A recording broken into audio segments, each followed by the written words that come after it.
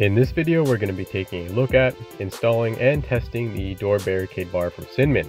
This is a great all-in-one way to reinforce doors because it can be easily activated in a few seconds. You can use this to barricade in-swinging doors like your front door, bathroom, or bedroom door, or you can use the system to barricade a door inside your home and turn it into a safe room.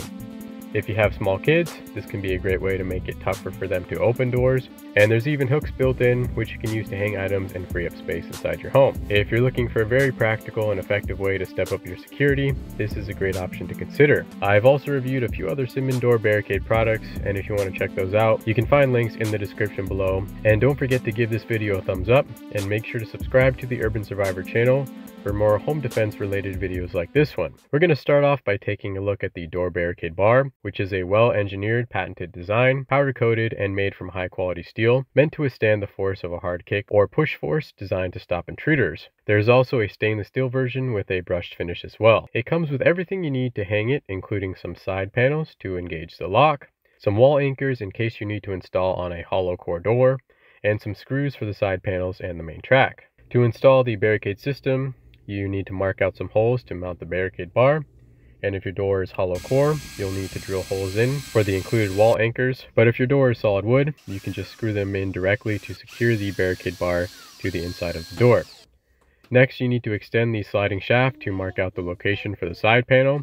And after you've got it marked, you can screw in the side panels on each side and your barricade system is all set. The side panels are only 1.5 millimeters thick, so they should work with most doors. After the barricade is installed, the system is really easy to engage and disengage.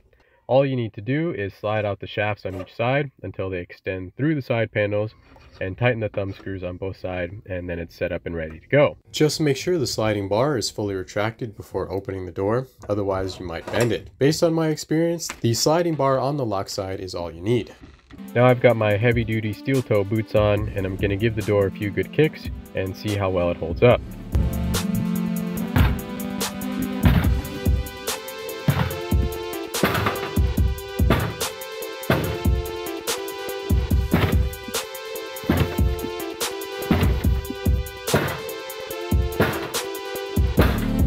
So this test had some pretty interesting results.